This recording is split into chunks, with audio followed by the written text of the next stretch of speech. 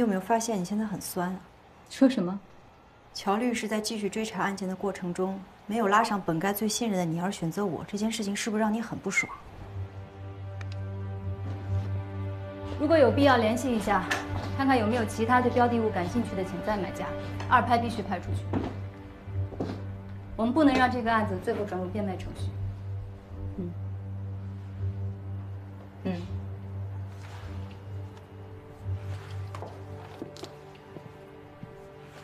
说吧。今天您给我办完手续之后，我就去开了继承案子的庭。之后见到乔律师，没说两句话，他有事就先走了。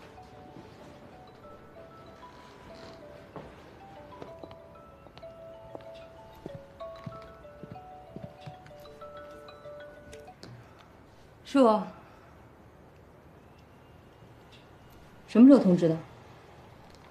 是电话通知的，还是送的书面传票？不行，那两天我要出差，跟何一婷要答辩期，那就提管辖异议，等我回来再说。这种事情你以后应该知道怎么处理。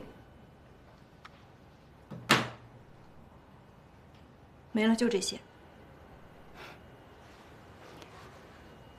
乔律师舍己为人，英雄救美，你俩没激动的拥抱一下？乔律师似乎不知道他自己被投诉这件事情，我告诉他之后，他好像也并不在意。看来你俩现在彻底穿一条裤子了。肖律师，别以为躲过了初一就天下太平了，十五之前都算你。你大概知道是谁在背后操纵了这次投诉，他不会善罢甘休的。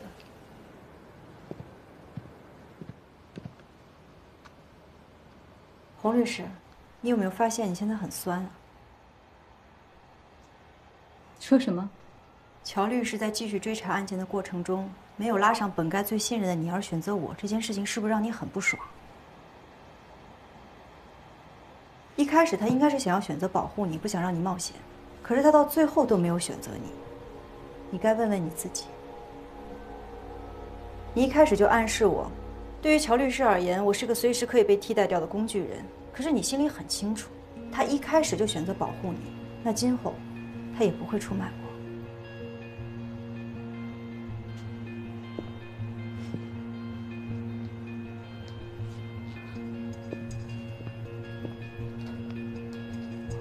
你到底想说什么？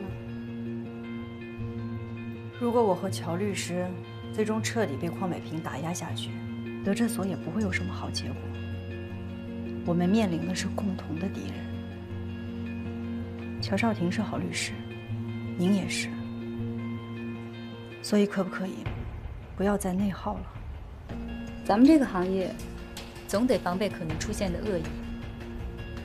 即使是这样，也并不妨碍某些人去释放善意。我们是再见。